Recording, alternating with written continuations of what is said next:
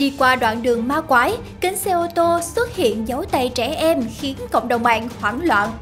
Trong một đoạn video lan truyền trên mạng xã hội, một nhóm du khách đang đi qua đường ray tàu lửa vào lúc 11 giờ 30 phút thì xe ô tô bất ngờ dừng lại. Linh cảm có điều không ổn, một người trong đoàn liền rắc bột mì khắp xe để kiểm tra.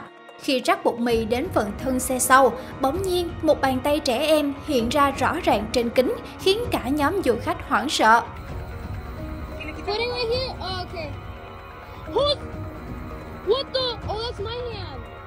Để kiểm chứng, một cô gái trong đoàn đã gạt bột mì đi và rắc lại một lần nữa, tin rằng đây chỉ là sự trùng hợp.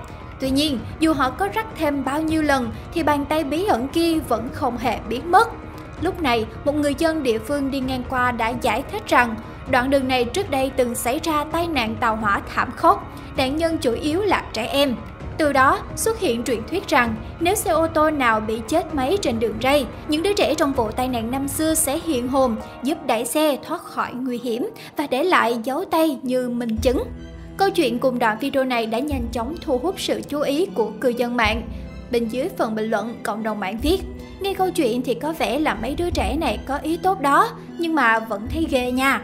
Bàn tay cũng nhỏ nhỏ giống trẻ em thiệt cái chứ.